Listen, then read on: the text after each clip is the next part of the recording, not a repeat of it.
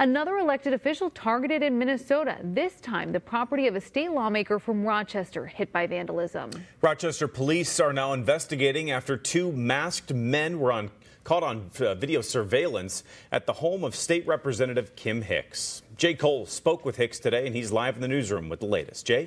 Brett, Representative Hicks tells me the vandal struck in the early morning hours Saturday when she woke up to a situation she calls unnerving.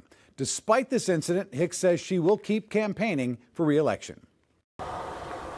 When the sun came up Saturday morning in Rochester, there are swastikas on my shed. You can't, there's KKK on my shed. It was pretty clear to State Representative Kim Hicks that her home and her family were the targets of political violence. I was not expecting it to be hate speech, racial violence, and to be our shed and our house, like our physical home. So that was awful.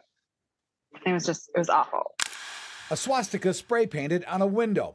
Hicks says her security video shows two suspects in masks peering into the window with one of her children on the other side. Fear of the fact that they were so close to my children. I mean, they they spray painted my the window where my daughter sleeps. It's a pattern repeating itself in Minnesota. Protesters climbing the fire escape of Minneapolis Mayor Jacob Frey's condo with his wife and baby just inside the door. Former Minneapolis City Council member Lisa Bender's home vandalized with threatening messages.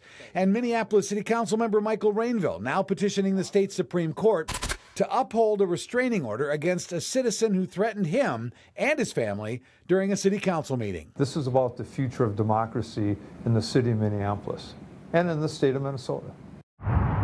Representative Hicks agrees, saying it's why she will not quit, so others will eventually step up. Here's this other thing that happens in this job people threaten your life regularly and deface your property. Like, such a selling point for democracy. Now, Hicks says Rochester police told her they're investigating this as a felony crime of terroristic threats. So far, the two suspects on the home security video have not been caught. Reporting live in the newsroom, Jay Kolls, 5 Eyewitness News.